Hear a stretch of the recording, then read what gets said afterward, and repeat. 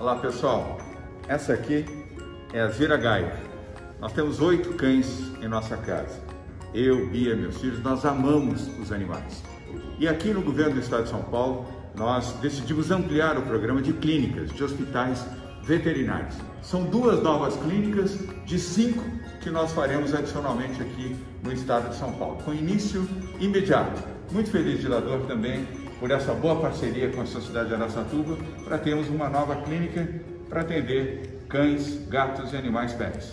Governador, quero aqui agradecer em nome da nossa sociedade, não só de Araçatuba, mas dos outros 42 municípios. É, então, fica aqui o nosso agradecimento, que é um presente para quem ama e gosta dos animais, mas sem deixar de pensar na questão da saúde humana. Muito obrigado. Obrigado a você, Dilador. Jorge, muito feliz também em Votuporanga, né? Agora vamos ter lá uma clínica para os pets também, uma clínica de grande porte.